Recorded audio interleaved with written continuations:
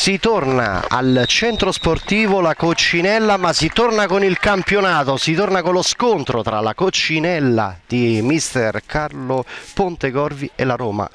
Calcio femminile, dopo il bel match di sette giorni fa, Roma, dicevamo, da sinistra verso destra. Gestisce proprio il primo pallone che lo va a mm, toccare Santillo all'indietro per eh, Bartolini. Cata anche dal disimpegno con Santillo. Di Lorenzo Aiello prova il sinistro ma è più un passaggio più un assist. Aiello sono loro adesso a gestire questo pallone che perde proprio Aiello. Pasquali prova la conclusione e Maglione ci mette le mani.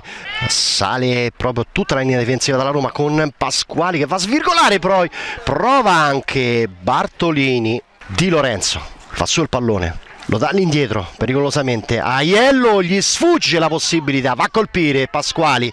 Verso Pasquali costretto ad andare il pallone indietro.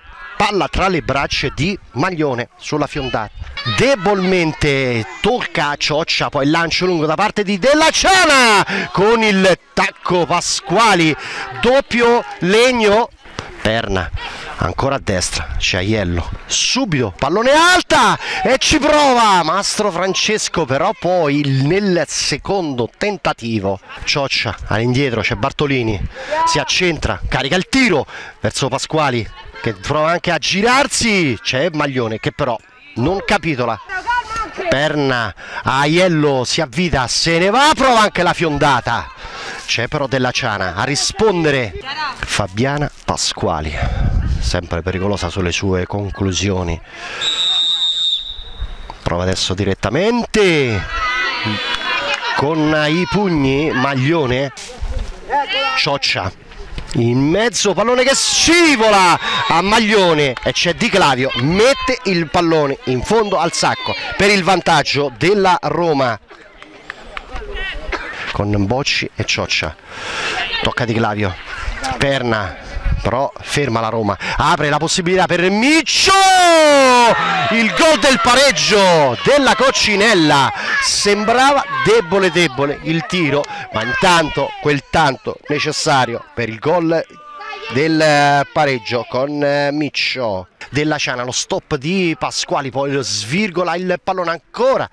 Arriva dalla conclusione Santilli oltre la propria metà campo. Bocci, c'è Pasquali va anche andare a calciare si gira, fa quello che vuole e deposita il pallone nell'angolino opposto per il vantaggio della Roma. Poi D'Alessio ancora a sinistra si libera di Santilli pallone messo in mezzo per Miccio che non va a colpire.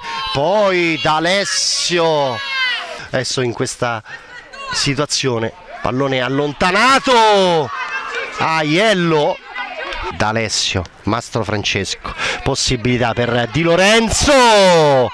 Scivola nel tentativo di colpire a rete c'è Mastro Francesco che riceve D'Alessio Aiello tutta quanta la coccinella che attacca Santilli che parte. E arriva il triplice fischio finale. La Roma espugna il centro sportivo La Coccinella battendo la formazione di Carlo Pontecorvi per due reti a uno. Le marcature con Di Clavio per l'1-0 della Roma. Il pareggio di Miccio nel primo tempo. Al riposo le squadre sull'1-1 decide il gol di Fabiana Pasquali. La, la vittoria della Roma per 2-1 sulla Coccinella